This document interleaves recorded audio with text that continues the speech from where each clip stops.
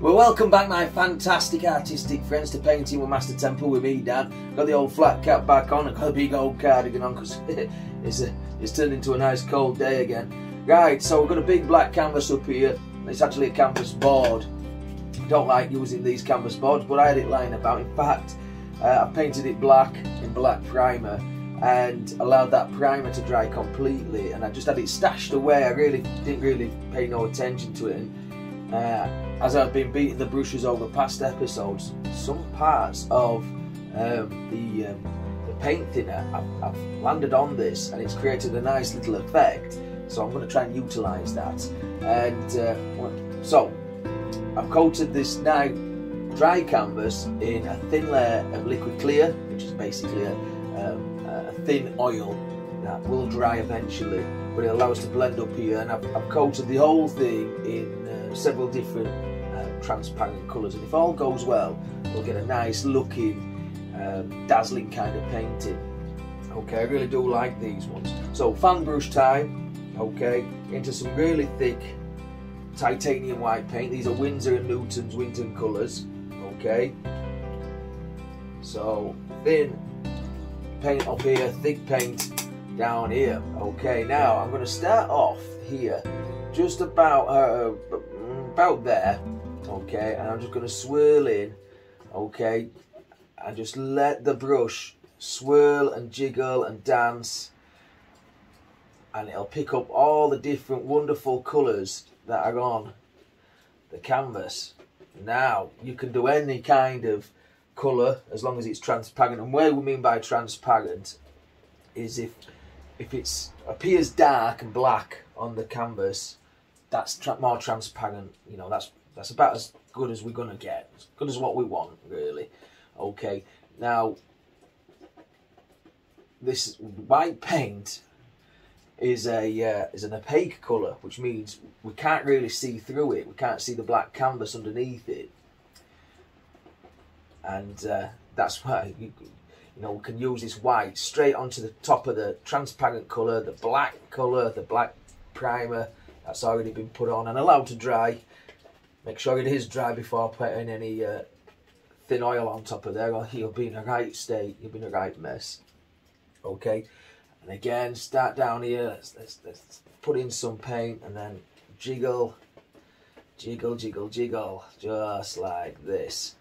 Okay, and just coat the whole whole canvas with these awesome looking swirly effects.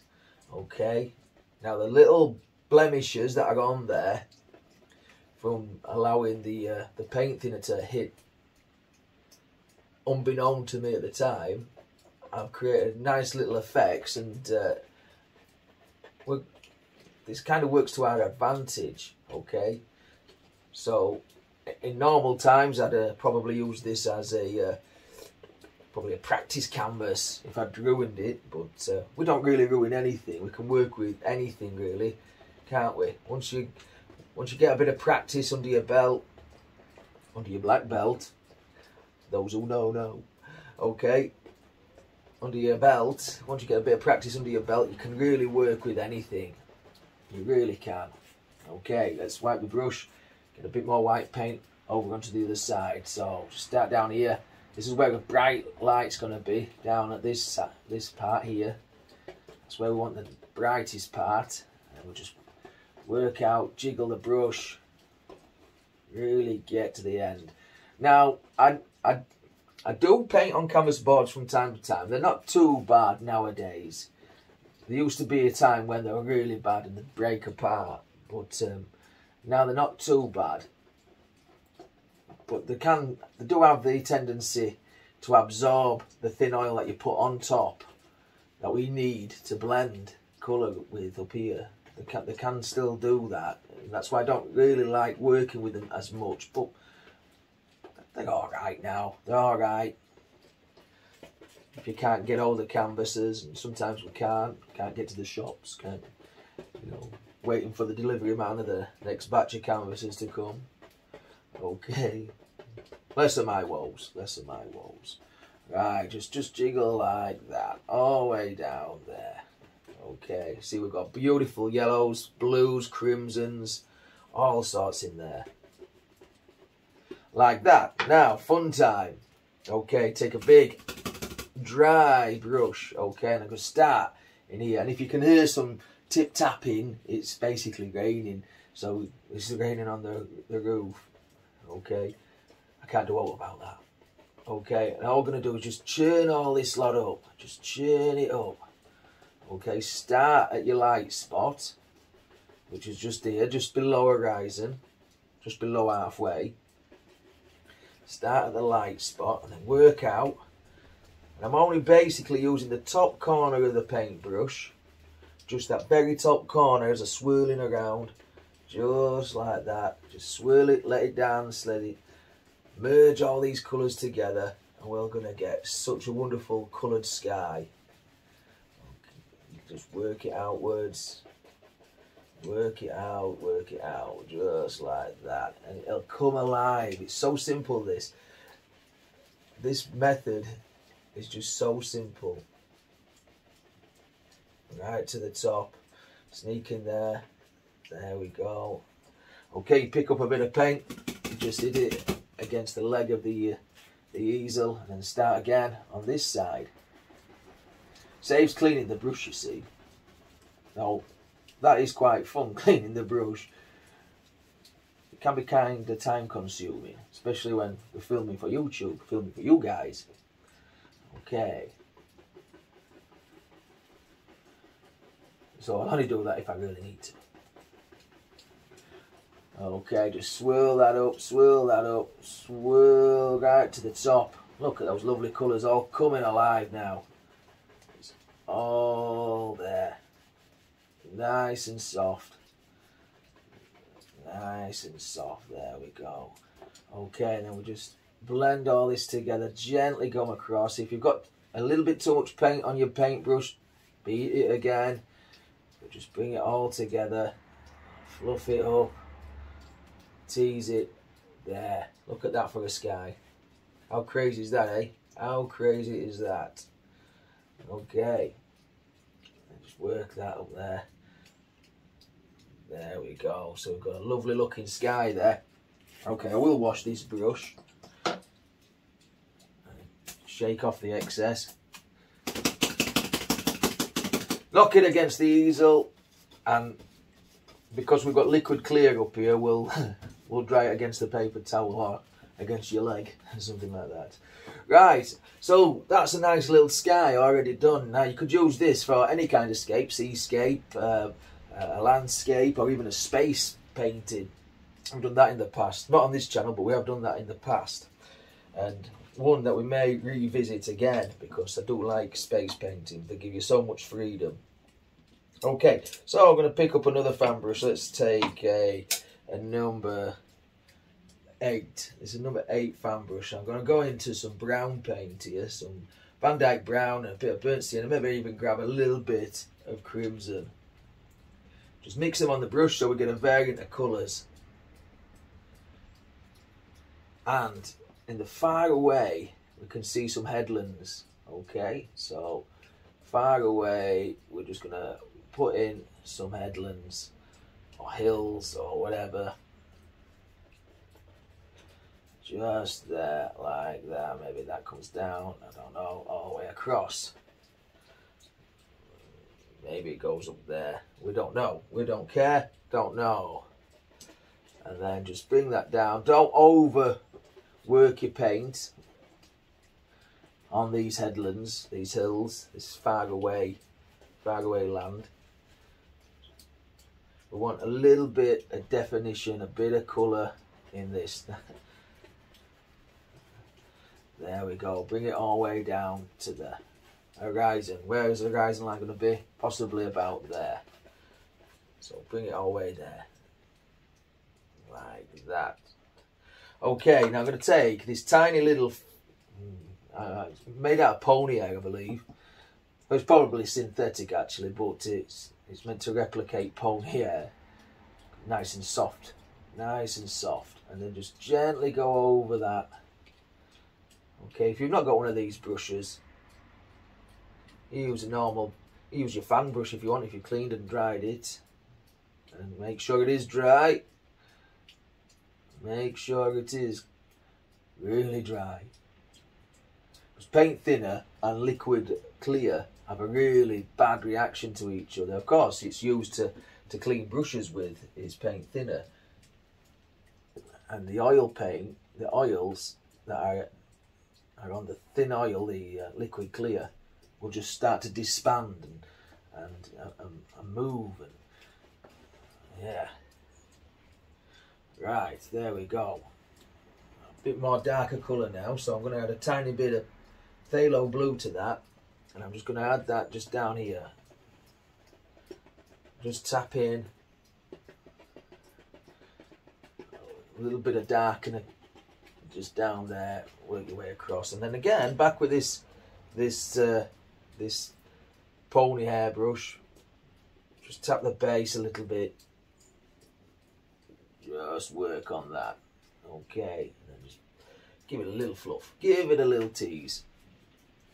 Okay, that is our headland or hill or mountain or whatever. Whatever we're going to see far across the landscape. Now, uh, what we're going to have, I think we'll have some water in this. Just some water and uh, maybe a little bit of a coastline. So we're overlooking like a loch or a, um, fjord or I don't know, you know. Okay, so we'll just make it up as we go along, don't we? I really have no idea what I was doing, you know, with this one. Sometimes I have a bit of an idea, but 99% of the time I just, I just go with it. Okay, so some white paint, and all I'm going to do is just very gently start in the middle and just zoom down. Okay, doesn't matter if your water line's not straight, but the, these lines must be relatively straight. Keep these, uh, keep this direction pretty good, because if you go on at an angle, it's going to look like the water's going to stream off the edge, and we don't want that. It's wet enough outside, we don't want it wet in here as well, with this water running away from us. Yes, you've got to be a bit, crazy in here. Maybe this hat's a bit tight. Remember the Christmas paintings we did? Boy, that was a... That was pretty tight, that, that Santa hat I had on. But fun, but fun. But fun. So work your way across, all the way across, okay. And then take your big dry brush. Okay, is this it? Looks like it. Make sure, make sure it's dry, folks. Okay, and then just pull down. Okay, and some of that white colour we'll pick up with the undercolour that we've got on there, the magentas, the, the Indian yellows, the, the browns. We'll put a bit of brown down there, you see. Yeah, the blues. Okay, look at that. Okay, and then just gently, gently, just take it all the way across. Very light, whisper light, feather light. And that will give us a nice, mysterious, watery effect. There we go. Okay, now we need to work on a, I think we need to work on a little water line out there. Okay, there's a bit of an itch on the back there. Right, so, bit of liquid white. Now, I'm going to take this liquid white, pop it up there, and take a bit rogue rogue brush there. I don't know how that got there. Rogue brush air there. Sometimes your brushes do malt. Don't know what you're doing on the palette knife though.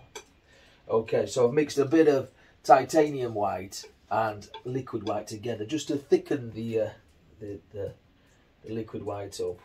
Okay. Now start start the brightest part part you want. Make sure the blade of your knife is parallel to the base of the painting put the heel on the canvas and then push into the canvas and then cut okay and that'll give you a nice straight line nice and straight now if we're coming around a corner or coming towards us a bit more paint make sure that your knife is still straight but relax on the front pressure of the knife so bring back the heel towards you if, if that makes sense It'll make sense if you're regular do, regularly doing this. Okay, so we've got one side done. Okay, let's let's go on to the other side. Okay, so this looks like a natural spot to come up that way. So we'll probably start here. Okay, and work your way up, but relax on pressure. Keep it nice and straight, parallel to the base of the canvas. And then just bring that together there like that. There we have it. We've got a nice straight water line. Well, straight as the uh, the land that we've painted is. Okay. Now, if one's a bit too bright, you can actually go across it and rub it away. Or pull it into the paint. Or if it's nothing that you like at all, you can just just blend it into the to the painting. Zip it off or blend it into the painting. Okay. Right, now I think we need some waves on here, just little gentle waves. Where's this to go? Okay, so a bit of white paint, okay, on the old palette knife, the big old putty knife. And we're to start up here. I think we'll start off with one. We're not going to have big crashing waves. I love big crashing waves, but we're not going to have that today. Um, we'll just have a nice gentle, just a gentle, it might not even be a sea, it might be a might be a lake, I don't know. Loch. So push. And you can see you get a distinct, clean, crisp edge. But you also get a nice feathering effect. What I mean by feathering, that's just a word I've made up by the way. It's not a true art term. Is you get a clean, crisp cut and you get this blended part. Now with that blended part, we need that. That's important. And we also need that front part of the uh, the uh, the line as well, the wave. Right, now let's work again on another one. So start off here and then just work your way back. Applying pressure. Applying more pressure. There. Get wider as it comes towards you. What I mean by that is it's narrow up here and it's wider down here. Okay, jiggling about a bit because water's constantly on the move, even though if it's if it's still and flat. There we go. I don't want to push too hard because uh, here's a canvas board. These this this easel that I built doesn't really like canvas board. so right. One more. We'll have another one. Okay, and we'll start back here. And again, we'll just come across just that, like that, all the way across, and then get that out to nothing. Okay, now we may have another one yet, I don't know. I don't know what we'll do. I wish I did.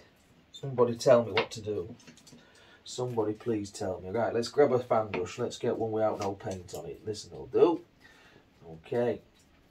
Okay, with little fan brush. In fact, let's get a littler one, actually. I have one somewhere. Come on. This is a little baby one. This is a number two. Okay, number two fan brush. And I'm just going to grab this white paint just feather it back ever so slightly. Just grab and pull a little bit at a time. Think of the wave. Don't pull it into the next line that you did just pull it just like that. And start to create a watery effect. There, like so. Yeah, all the way down till we get down into this area here. Yeah. Just like that, that easy. Just pull just pull from the front of the wave to the back. Front of the wave to the back. If you get a bit too much white paint on, don't worry about it. Keep working it and it'll go away. Keep working this and it'll be as smooth as silk. Okay, let's go on to the next one. Okay, so just, if you need to, wipe your brush off Okay, I'm just going to try and sneak in there. In fact, it'd be better with a little flat... Uh, I've got a little flat brush. I have somewhere, but I don't know where to put it. Mm, will that sneak in or is it too splayed out? We'll try it. We'll try it. We'll try this one. Just just a little tiny couple of hairs and just bring that across. Mm, not sure. Not sure. If you don't like it, go back to how it was. If it ain't broke, why change it, Dan? Come on. If it ain't broke, why try and fix it? sometimes, as artists know, we can tinker and tinker and tinker and break stuff until it's completely and utterly not the picture that we wanted. Okay, so just bring that back there. And a bit more here. Keep it nice and straight. Think of the water rushing in. Like that. Alright. Okay. We're getting somewhere, aren't we? We're getting somewhere. We're getting somewhere. And in 10 minutes, Mr. Christopher Collects is on his uh, YouTube. So I want to be done for then. So I can go watch him do some fantastic coin hunts. So uh, better bet, get a move on and get this one finished. If you're a coin collector, let me know. I know a lot of my fantastic friends from the coin collecting community have come across and started to watch me paint, which is amazing. It's amazing. How, how do you convert somebody to do another hobby you know, watch another hobby. There. There we go. There, there. So, nice one. So now we've got this nice little, nice little ripples just there. Okay, so I think we need a little bit of a reflection down here into the, uh, into the, uh, what would possibly be sand. Okay, so I'm going to take a, uh, I'm going to take another fan brush, a bit bigger. Yeah, this one. And again, back to the white paint, because we've primed the canvas, you know, conditioned the canvas, we can do this. Okay, so go there, but leave a little dark line between between the uh, the, the, the, the reflection on the wet sand and your wave. You want a little shadow. So don't paint all the way up to that white line. Just leave a little bit of a line. And however big it is, that's all right. We might have big shadows, we might have small shadows.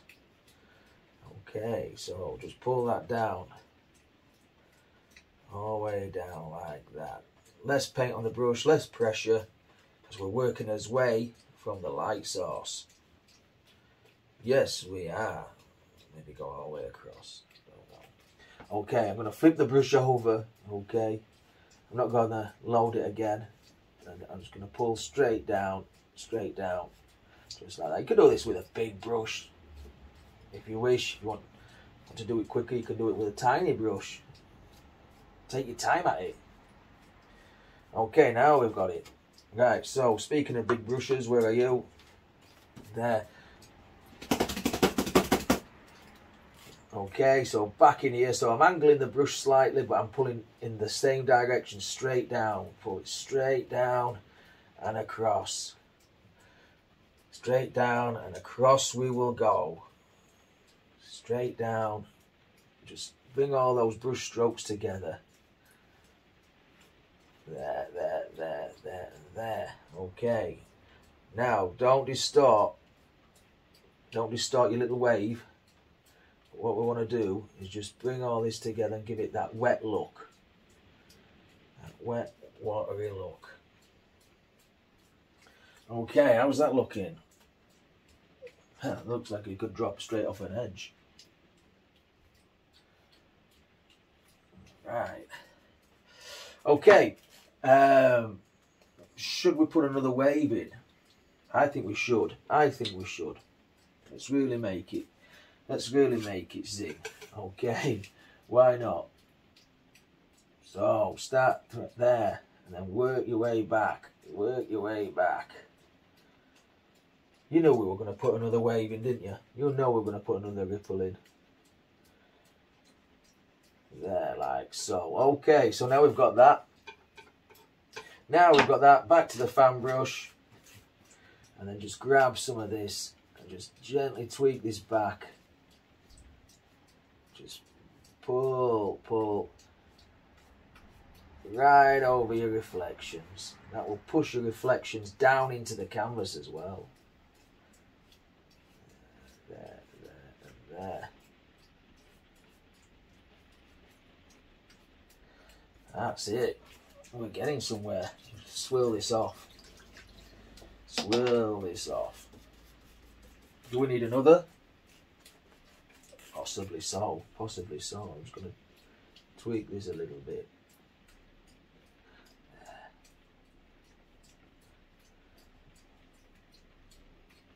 Right, let's get the knife again. So you'll make friends with the knife. I've gone into the small knife and I've gone into the, that liquid white and titanium white mix.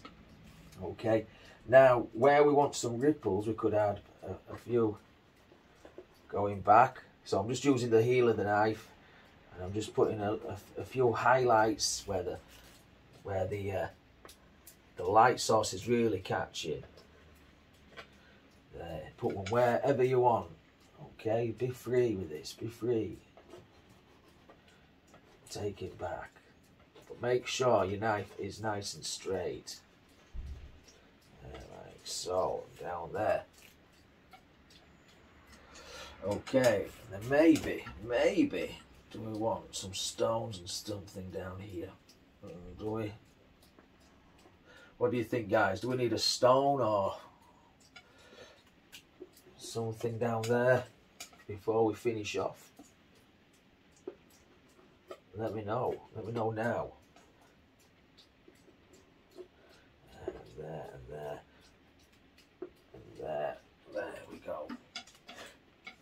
Before we decide on a stone, just take that little gentle brush and just lightly go over it again. Just to set these down. Try not to distort it too much, but just enough.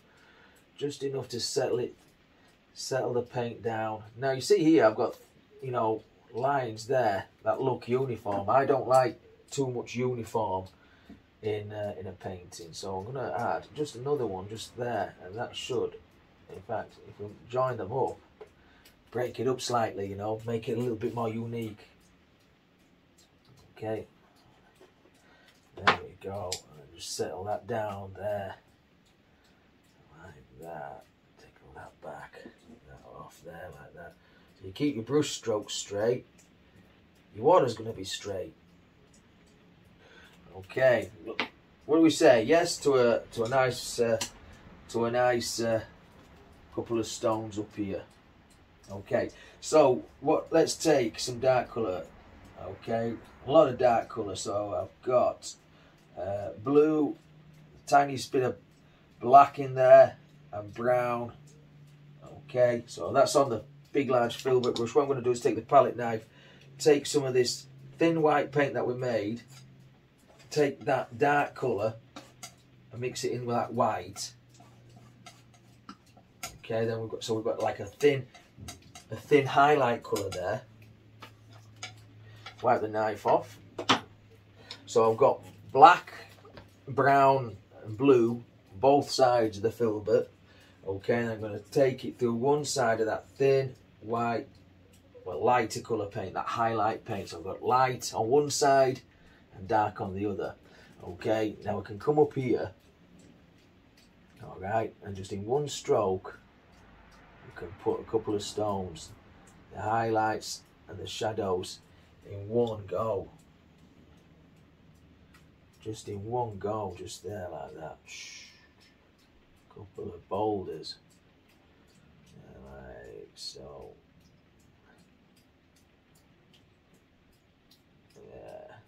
Couple of stones that that's it up there maybe a little tiny one there and there. Maybe we've got one popping his head out of the water maybe he's got a friend there as well there like so three of them there three of them Okay, set you down. Okay, so back to the, uh, uh, come here. Has anyone else run out of space, brushes and time? Okay, So just pull some of that colour down. Pull it down, okay? Just pull that straight down and then gently across again. Gently across. And then what we can do is take the palette knife, which one have I got? The, the little one. I like the little one. A, a really good friend of mine gave me this for my 40th birthday. He told me to go away and paint. I think I've told you this before. He told me to go away and paint, and I did do. And a lot of people liked the painting, so I carried on painting. And I really, really enjoy paint with this knife more than anything else. You know, it, it's it's such a pleasure. Okay, so down here it cleans my palette. It's even tight. Used I've used it to tile my bathroom as well. Put the grout in sometimes. There we go. Right, so there we have it. Let's maybe twinkle some of these back a little bit. A couple more little highlights here and there. Wherever we should be, that's exactly where they should be. Maybe take where we didn't take it off the canvas. We'll take it off there like that and then just fetch that round like so. So it does actually